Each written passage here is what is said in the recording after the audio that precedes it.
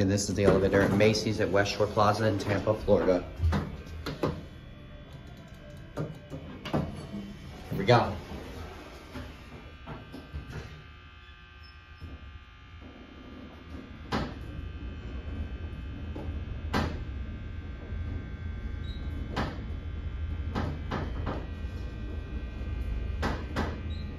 Three, one. Three looks good.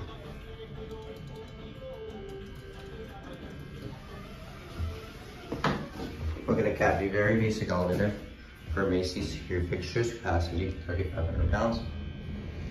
There's a certificate, there used to be a fourth floor here, as you can see there. This elevator apparently doesn't serve it. Not one.